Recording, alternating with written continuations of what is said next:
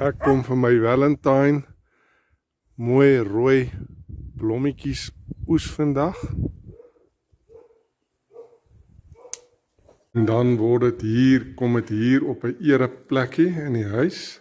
Happy Valentine's Day my baby en ek lief jou. Ouma Namens oupa, gee ek vir jou 'n rooi Valentine's blommetjie wat ek hier in Amanjani op die veld in die veld gepluk het. Ag, die ou onromantiese buffel sou seker nie eens geweet het van iets soos Valentine's nie, maar nogtans, namens oupa, hier's vir jou 'n Valentine's blommetjie.